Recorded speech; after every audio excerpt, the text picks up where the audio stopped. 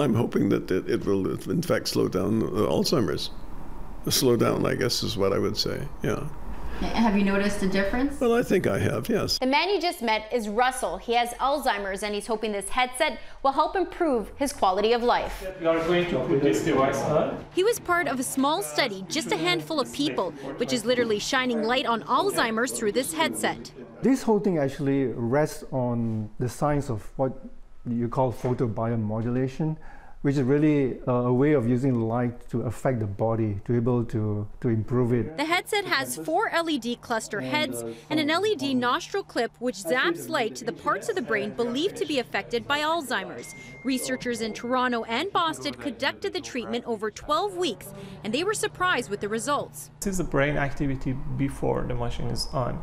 Immediately when we switch the machine on, then this is the brain response. This is immediate and accurate brain response, and it's very surprising also for me. This is good.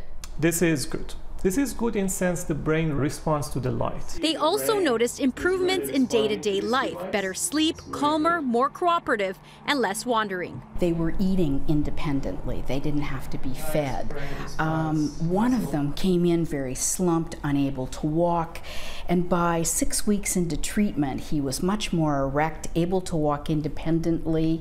I mean, for somebody who sees these sorts of changes, it makes your heart really feel amazing about it. Russell says his caregivers have also noticed a change in him. My daughter, especially Jennifer, the youngest, uh, she's the, she she noticed it. She said it's amazing, and so did Gwen, my girlfriend. She said when you when you do that, you you know it, it, it, there's a big change. A positive change, but scientists say more research still needs to be done.